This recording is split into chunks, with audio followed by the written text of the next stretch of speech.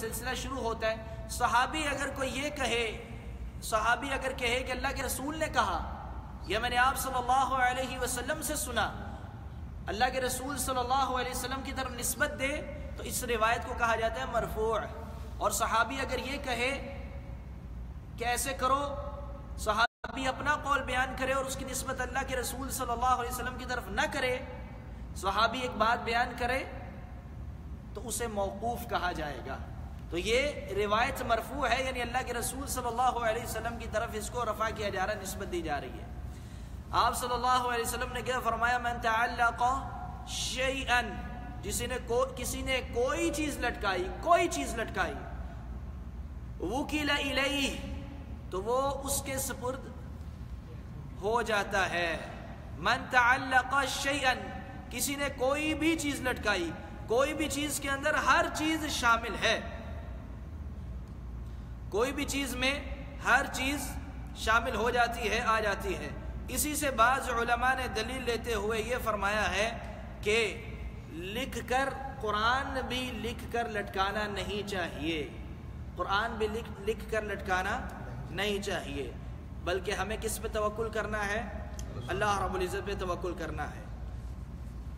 تو یہ حدیث بھی مسند احمد میں اور ترمدی میں ہے اور اس کی صنعت صحیح ہے، حسن درجے کی ہے۔ آگے شیخ نے تمائم کے بارے میں، رقیہ کے بارے میں اور اتوالا کے بارے میں کچھ باتیں شیخ نے اس کتاب میں بیان کی ہیں جو میں نے تفصیل سے پہلے بیان کر دی ہیں۔ صرف ہم جلدی سے اس کو پڑھیں گے، اس کا ترجمہ میں آپ کے سامنے کروں گا۔ شیخ محمد بن عبد الوہاب رحمہ اللہ فرماتے ہیں، التمائم شیء يعلق على الاولاد يتقون به العين تمائم ایسی چیزیں ہیں جو اولاد کے اوپر، بچوں کے اوپر لٹکائی جاتی ہیں نظر بد سے بچنے کے لیے۔ لیکن یاد رکھنا تمائم، کون سی چیزیں لٹکانا جو لکھی ہوئی تعویز تعویزات کی شکل میں ہو؟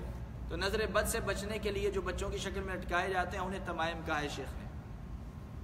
لیکن اذا كان المعلق من القرآن، آگے شیخ فرماتے ہیں، اگر یہ معلق چیز لٹکائی ہوئی چیز اگر قرآن سے لکھی گئی ہو فرخص فيه بعض السلف، تو سلف میں سے بعض نے اس میں رخصت دی ہے۔ ان کا قول ہے کہ اس میں اجازت ہے۔ وبعضهم لم يرخص فيه اور بعض نے اس میں اجازت نہیں دی۔ اس کی بات ہو رہی ہے جو قرآن سے اگر لکھا ہو۔ وَيَجْعَلُهُ مِنَ الْمَنْهِيِّ عَنْهُ اور بعض اس کو ان کاموں میں شمار کرتے ہیں۔ قرآن سے لکھے ہوئے تعویذ کو بھی ان کاموں میں شمار کرتے ہیں جن سے منع کیا گیا ہے۔ وَمِنْهُمْ ابن مسعود رضی اللہ عنہ، اور ان میں عبداللہ ابن مسعود رضی اللہ عنہما کا نام مشہور ہے کہ وہ اس سے بھی منع کرتے تھے، ایسے تعویذ سے جو لکھے ہوا ہو، جو قرآن سے بھی لکھا ہوا ہو، اس سے بھی منع کیا کرتے تھے۔ اس کے بعد آگے شیخ فرماتے ہیں والرقا رقا کسے کہتے ہیں؟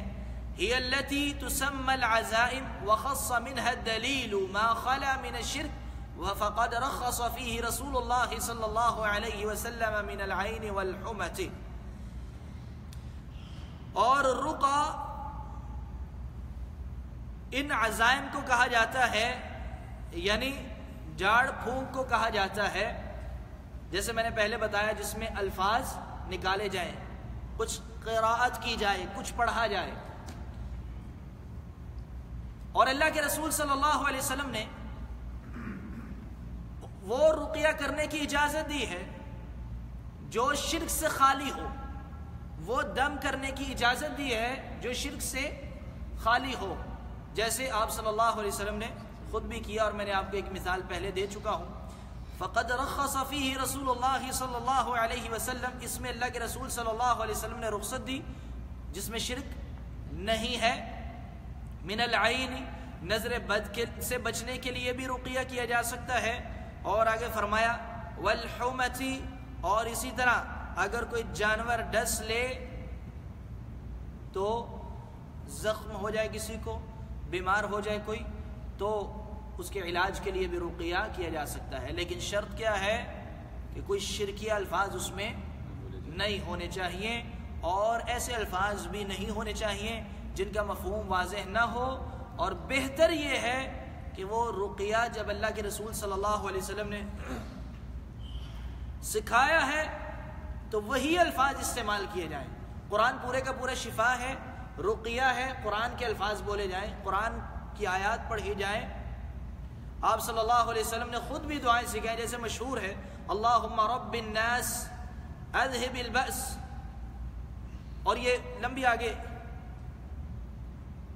روایت ہے اور اسی طرح اللہ آپ صلی اللہ علیہ وسلم نے ایک اور جگہ پہ حسبی اللہ و نعم الوکیل یہ الفاظ بھی استعمال کیے ہیں۔ اسی طرح کوئی اگر پڑھتا ہے، لا الہ الا انت سبحانکا انی کنت من الظالمین، یا اور کوئی قرآن پاک کی آیت پڑھتا ہے یا کوئی دعا پڑھتا ہے آپ صلی اللہ علیہ وسلم کی سکھائی ہوئی، تو سب سے بہتر یہ ہے کہ رقیہ قرآن پاک کی آیات اور انہی دعاؤں کو استعمال کر کے کیا جائے۔ بعض لوگ کہ یہاں ایک اور مسئلہ اہم نقطہ واضح کرنا ضروری ہے کہ قرآن و حدیث سے ہٹ کے بھی بعض الفاظ استعمال کر کے رقیہ کیا جاتا ہے جن کا مفہوم کچھ نہ کچھ ہوتا ہے۔ ایک تو وہ الفاظ ہیں جن کا کوئی مفہوم ہی نہیں ہوتا، عجیب و غریب قسم کے منتر پڑے جاتے ہیں۔ وہ جائز نہیں ہے۔ اور اگر اس میں شرک پایا جا رہا ہے تو وہ تو شرک میں آ جائے لیکن کچھ الفاظ جن کا مفہوم ہے، کوئی مفہوم ہے اور کچھ لوگوں نے تجربہ کر کے دیکھا ہے کہ یہ الفاظ پڑھنے سے کوئی اثر ہوتا ہے، کوئی علاج ہوتا ہے، لیکن وہ قرآن و حدیث میں نہیں آئے۔ تو ایسے الفاظ استعمال کرنا جائز ہے، لیکن بہتر یہ ہے کہ پھر بھی جب قرآن قرآن کو اللہ تعالیٰ نے شفا کہا ہے تو قرآن کی آیات پڑھی جائیں۔ بجائے اس کے کہ اپنے الفاظ کوئی تجربہ کر کے ایجاد کیے جائیں، اگرچہ اس میں شرک نہیں اور ان کا مفہوم بھی واضح ہے۔ لیکن پھر بھی جب قرآن ہے ہمارے پاس اللہ تعالیٰ نے اس کو پورے کے پورے قرآن کو شفا کہا ہے۔ آپ صلی اللہ علیہ وسلم کی حدیث میں دعائیں ہیں۔ تو بہتر ہے وہی الفاظ پڑھے جائیں۔ قرآن کے اندر جتنی تعزیر ہے، ہمارے الفاظ میں یا کسی اور کے بنائے ہوئے الفاظ میں اتنی تعزیر نہیں ہو سکتی۔ آگے شیخ فرماتے ہیں وَتِّ وَلَا هِيَ شَيْءٌ يَصْنَعُونَهُ يَزْعُمُونَ أَنَّهُ يُحَبِّبُ الْمَرْأَةَ إِلَى زَوْجِهَا وَالرَّجُلَ إِلَى إِمْرَأَتِهِ تیوالا ایسی چیز جس کو اس لیے استعمال کیا جاتا ہے، بنایا جاتا ہے اور اس کے بارے میں یہ عقیدہ رکھا جاتا ہے کہ اس سے اس سے عورت اپنے خاون کی طرف زیادہ محبوب ہوتی ہے۔ ورجل ورجل الى امراتها یا یعنی آدمی اپنی عورت کی طرف زیادہ محبوب ہوتا ہے۔ دونوں میں ایک دوسرے سے محبت پیدا ہوتی ہے۔ اس کے لیے تیوالا کا استعمال کیا جاتا ہے۔ یہ بھی تمائم کے ایک ہے۔ تمائم کی ایک صورت ہے اور اگر اس میں شرکی الفاظ آتے ہیں تو یقیناً یہ بھی کیا ہے؟ شرک ہے۔ جیسا کہ آج کل ہوتا ہے، پچھلے دنوں ایک مجھے کسی نے مسئلہ پوچھا، کسی عورت نے اپنے خامن سے زیادہ محبت پیدا کرنے کے لیے کوئی اس طرح کا کام کروایا اور الٹا خامن بیچارہ بیمار ہو گیا۔ خامن کو پتہ ہی نہیں ہے کہ میرے اوپر جو کام ڈالا ہے وہ میری بیوی نے کیا ہے۔ تو اس قسم کی حرکتیں کرنے کی ضرورت نہیں ہے۔ یہ سارے اختیارات کس کے پاس ہیں؟ اللہ تعالیٰ کے پاس ہیں۔ اور راست ہاں اللہ تعالیٰ سے دعا کریں۔ اگر کوئی ایسے تعلقات کے اندر کوئی کمی آ رہی ہے میاں بیوی کے، تو دعا کریں، وہی رقیہ بن جائے گا۔ وہ دعا کریں۔ اگر کوئی اس قسم کا مسئلہ ہے، تو رقیہ شرعیہ کریں۔ لیکن یہ عجیب و غریب قسم کے کام کروانا اور اس سے لوگ ایک ایک تعویذ وغیرہ کرنے کے، جن کو ہمارے یہاں تعویذ کروانا کہا جاتا ہے، اگرچہ یہاں جو میں لفظ تعویذ استعمال کر رہا ہوں اور معنی میں استعمال کر رہا ہوں۔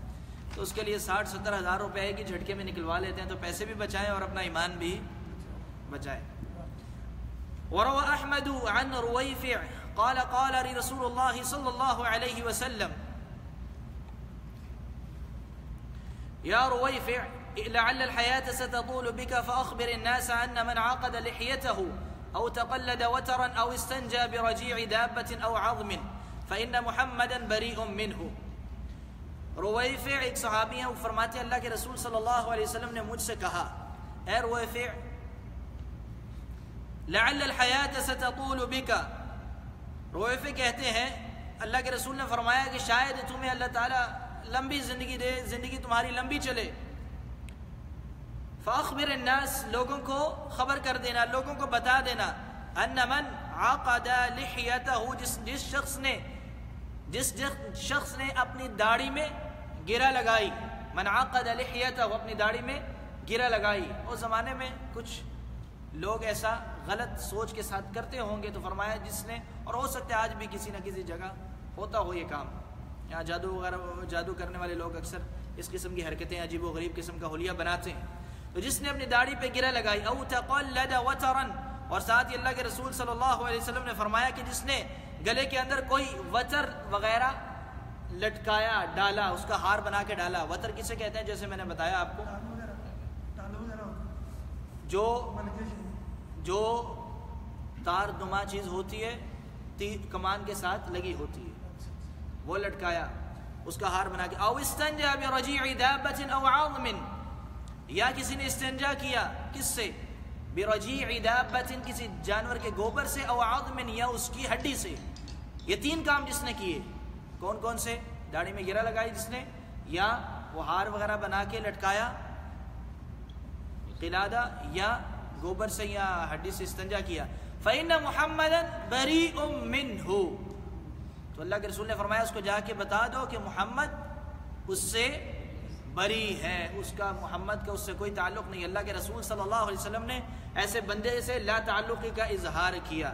تو یہ روایت بھی مسند احمد میں موجود ہے۔ اب یہ باب باقی ہے۔ انشاءاللہ یہیں سے ہم اگلے درس کا آغاز کریں گے اگلے ہفتے اور اپنی گفتگو پوری کریں گے۔